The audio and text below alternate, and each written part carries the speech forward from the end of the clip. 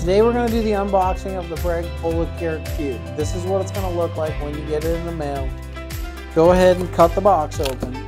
Be sure on the top you do not cut too far down because there is product on the top of the box. Please be sure you read the instructions and the warnings before you use the machine. The next thing you're going to get is the skin warning. You never put the pad directly on your skin because it could cause damage. So if you chose a pad in the drop down box, this is what it's going to look like when it comes in. So every pad on the front for the Breg Polar Care Cube has a part number and a description of which pad you get. Please make sure you get the correct pad. Also take note, this is a sealed bag so once this bag is open, this cannot be returned. So please make sure it is the pad you wanted. This is the connector for the Breg Polar Care Cube.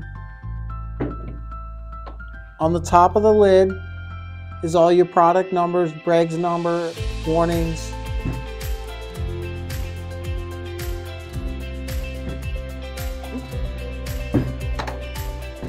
This is where you plug in the power cord.